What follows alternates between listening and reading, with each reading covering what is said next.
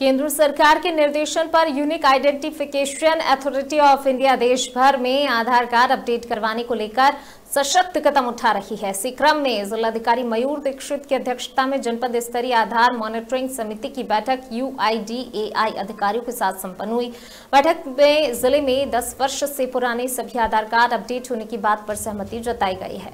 आधार समिति के आयोजित बैठक में परियोजना प्रबंधक यूआईडीएआई शिव उनियाल ने बताया की केंद्र सरकार आधार कार्ड को अपडेट करने के लिए देश भर में अभियान चला रही है। प्रमुख तौर पर दस वर्ष से पुराने आधार कार्डो का पुनः सत्यापन कर पता अपडेट करवाना सरकार की प्राथमिकता है। वहीं नवजात शिशु के जन्म पंजीकरण के साथ ही आधार कार्ड बनवाने पर भी ज़ोर दिया गया है।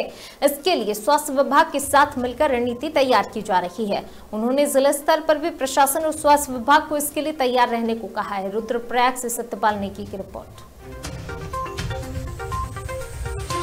आज की समिति का एक और मुद्दा था हमारा ज़ीरो से पाँच वर्ष तक के बच्चों के आधार एनरोलमेंट का। हम उत्तराखंड स्टेट में आधार एनरोलमेंट ज़ीरो से पाँच वर्ष की अभी तिरपन परसेंट है फिफ्टी थ्री परसेंट जिसे बढ़ाने की लिए बहुत ज़्यादा ज़रूरत है। तो सभी नागरिकों से आग्रह है कि किसी अपने नज़दीकी सेवा केंद्र में जाकर, आधार सेवा केंद्र में जाकर बच्चों का आधार एनरोलमेंट कराए ज़ीरो से पाँच वर्ष के, ताकि सरकार से मिलने वाली सुविधाओं के से बच्चे वंचित ना रहें। आधार समिति में बहुत सारे मुद्दे थे।